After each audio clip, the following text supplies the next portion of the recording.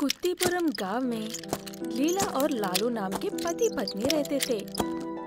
उनका एक बेटा भी है और उसका नाम सूरज है। लीला सूरज की सौतेली माँ है।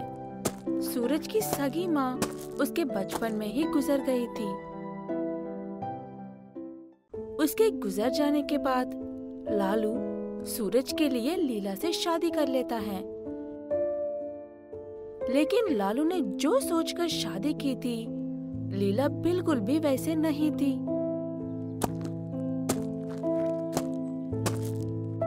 वो सूरज को बिल्कुल भी पसंद नहीं करती थी और घर का हर काम उसी से करवाती थी और छोटी छोटी बात पर मारती भी थी। ऐसे ही एक दिन सूरज, माँ मैं तुम्हारा हर काम करता हूँ ना। फिर भी आप मुझे क्यों पसंद नहीं करती हो? खाना भी वक्त पर नहीं देती हो आप। मैं तुझसे क्यों प्यार कर दूँगी, बला? तू मेरा सगा बेटा नहीं है। और याद रख, दोबारा मुझे माँ कहकर मत बुलाना। मैं तुझे इस घर में रहने दे रही हूँ। यही बड़ी बात है। ऊपर से तुझे वक्त पर खाना चाहिए। उसकी बातें सुनकर सूरज रोते हुए वहाँ से चला जाता है। माँ आप तो वैसे भी नहीं हो। जो माँ है वो मेरी शक्ल देखना पसंद ही नहीं करती। पिताजी हमेशा काम काम कहकर घर के बाहर ही रहते हैं। क्या मैं किसी को पसंद नहीं हूँ? लालू घर चलाने के लिए रात दिन खेत में काम करके उस खेत में उगे हुए सब्जियों को रेडी पर डालकर बेचता था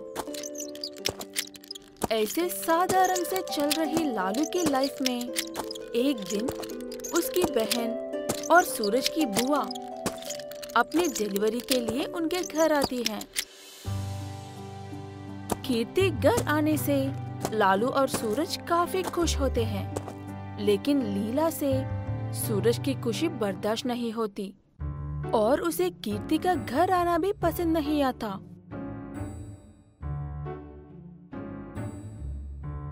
इसको खाना डालना व्यर्थ है। अब ऊपर से बुराई करने के लिए ये राक्षसनी आ गई है। ऐसे कुछ दिन गुजारने के बाद लालू अचानक से तबीयत खराब होने की वजह से मर जाता है। कीर्ति और सूरज लालू की मौत अचानक से होने की वजह से दुखी हो रहे थे। तभी लीला आकर कीर्ति से कहती है तुम मेरी घर में कदम रखते ही मेरे पति की मौत हो गई है। अब पता चला मुझे तुम कितनी मनहूस हो। उसकी बातें सुनकर कीर्ति काफ़ी दुखी होती है। ऐसे कुछ दिन बीतने के बाद आमदनी ना होने की वजह से उनके हालत बहुत बुरे हो जाते हैं। तुम्हारे आने से ही हमारी इतनी बुरी हालत हुई है। अब तुम्हारा बच्चा इस घर में आ गया तो पता नहीं और क्या क्या होगा। अब मैं यहाँ पर एक मिनट भी नहीं रहूँगी। छी छी। ये कहकर लीला अपने माँ के घर चली जाती है। उसकी बातें सुनकर कीर्ति, हे ऊपर वाले, मुझे मनहूस समझकर ससुराल वालों ने निकाल दिया था मुझे।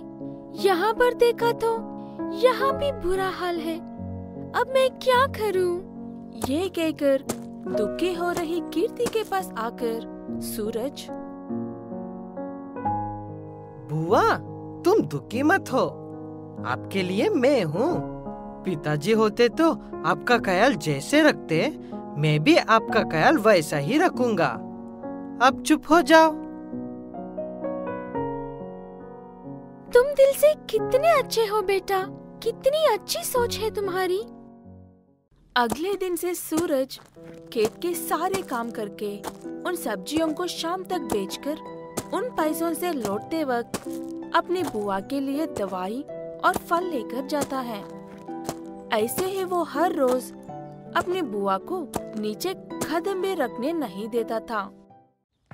सूरज ऐसे रोज ही तरह सब्ज़ियाँ बेचकर घर लौट रहा था कि जोरों की बारिश होने लगती है। तभी सूरज भागकर एक पेड़ के नीचे जाता है।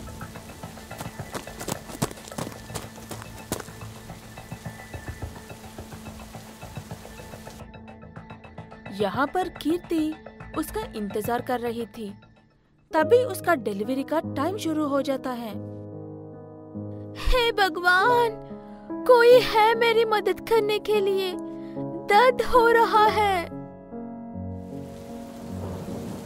घर पर बुआ इंतज़ार कर रही होगी। देर हुए तो परेशान होगी। भीगते हुए ही सही घर जाना होगा। ये सोचते हुए सूरज घर पहुँचते ही वहाँ पर कीर्ति ज़मीन पर गिरकर दर्द से चिल्ला रही थी। बुआ बुआ आप ठीक हो? थोड़ा थोड़ा सब्र करो। मैं किसी ना किसी को मदद के लिए लेकर आता हूँ।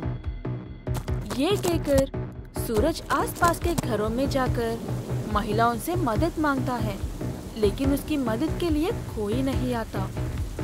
सब तेरी बुआ मनहूस है।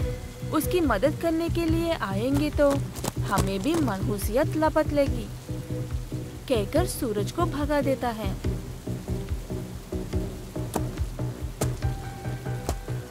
आखिरी में एक बूढ़ी औरत उसकी मदद करने के लिए सामने आती है। दोनों कीर्ति के पास जाते हैं। लेकिन दर्द से ज़ोर ज़ोर चिल्ला रही कीर्ति को देखकर बूढ़ी औरत समझ जाती है कि बात गंभीर है।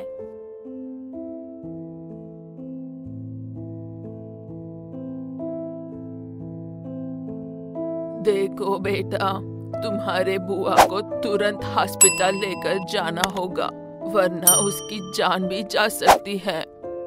अब मैं क्या करूँ माँ जी आप मेरी मदद करो ना। मैं बुआ को रेडी पर बैठा कर हॉस्पिटल लेकर जाता हूँ। ये कहते हुए उस बूढ़ी औरत की मदद से कीर्ति को रेडी पर डालकर बारिश में भीगते हुए हॉस्पिटल लेकर जाता है सूरज। हे ऊपर वाले मेरे बुआ को कुछ मत होने देना। माँ तो नहीं है। अब बुआ में ही माँ को देख लूँगा। बुआ और बच्ची की हिफाजत करना ऊपर वाले। इतने में डॉक्टर साहब बाहर आकर तुम्हारा बुआ बिल्कुल ठीक है और उन्हें बेटी हुई है। बाकी घर वाले कहा है बेटा? यह सिर्फ़ तुम ही नज़र आ रहे हो? सूरज डॉक्टर को सारी बात बता देता है। उसकी बातें सुनने के बाद डॉक्टर उसे देखकर काफ़ी तरस खाता है। अब तक अंधविश्वासी बातों पर विश्वास करने लोग हैं हमारे समाज में। तुम सही वक्त पर अपनी बुआ को हॉस्पिटल ले आकर सही कान किया है। तुम बहुत समझदार लड़के हो। लेकिन डॉक्टर साहब आपको देने के लिए मेरे पास पैसे नहीं है। मैं आपको रोज सब्ज़ियाँ बेचकर पैसा लाकर दे दूँगा। उसकी कोई ज़रूरत नहीं है बेटा। मैं तुम जैसे अच्छे बच्चों से पैसे नहीं लेता। तुम अपनी बुआ को लेकर आराम से घर जा सकते हो।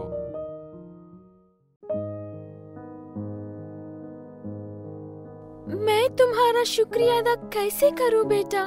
तुमने मुझे एक माँ की तरह संभाला है। ये एहसान मैं ज़िंदगी भर नहीं भूल सकती। तुम मेरी माँ की तरह हो बुआ। ऐसे बातें मत करो। अब से बुआ नहीं, माँ कहकर बुलाओ बेटा। ये बात सुनकर सूरज काफ़ी खुश होता है और सब एक परिवार की तरह खुशी से रहने लगते हैं।